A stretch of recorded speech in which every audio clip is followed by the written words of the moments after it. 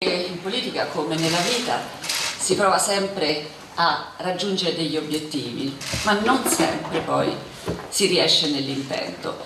Noi volevamo dar vita a un progetto aperto, cioè un centro-sinistra largo e anche in discontinuità con le politiche che eh, in questa legislatura erano state messe in atto dai governi guidati dal Partito Democratico.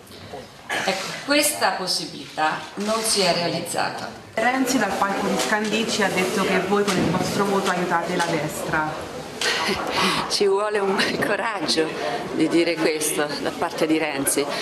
Io ogni giorno ogni giorno subisco gli attacchi della destra e ogni giorno combatto la destra e Salvini, lo faccio sulla mia pelle ogni giorno. L'ultima, terrificante azione è stata quella di dare alle fiamme a Burtastizio il mio fantoccio e quindi io sono andata a Burtastizio per dimostrare che si può avere idee diverse confrontandosi e senza dare alle fiamme l'immagine di qualcun altro. Quindi